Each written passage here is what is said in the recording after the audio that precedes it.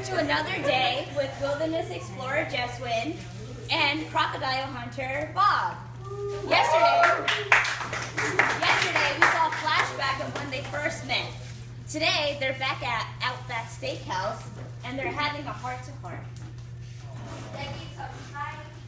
Man, Bob, it's crazy. You know, you remember how we first met. I was just thinking about it the last couple of days, though, right?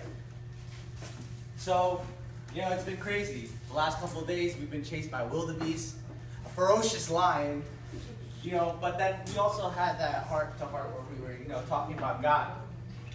Now, I want to know a little bit more about God, though. So could you tell me? Well, you know, my first thing we want to do is accept Jesus Christ as the Saviour. He died for his sins, so that's why we want to accept him as Saviour. That's God turned down. Jesus Christ.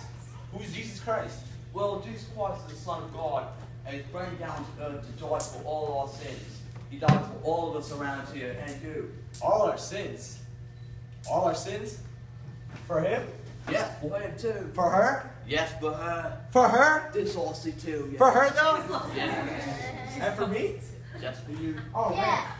So what's so what's this first step that I have to do though? You know, what do I have to do to, you know, accept him or um, you know, or know about him or whatever, you know? Well, to accept Jesus Christ as Savior, you gotta repent for your sins. And we're thankful for what He did for you. And also, if you want to take a quick prayer to commemorate this moment and accept Him as your Savior. Okay.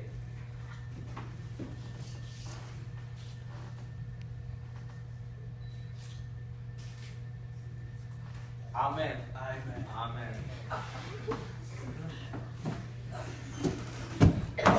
Guys, I'm glad I found it. You guys know what it's time for, right?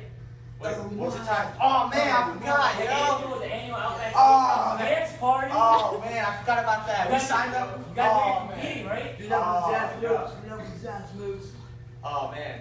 All right. Oh, no, no, y'all, we'll wait here. We don't have time.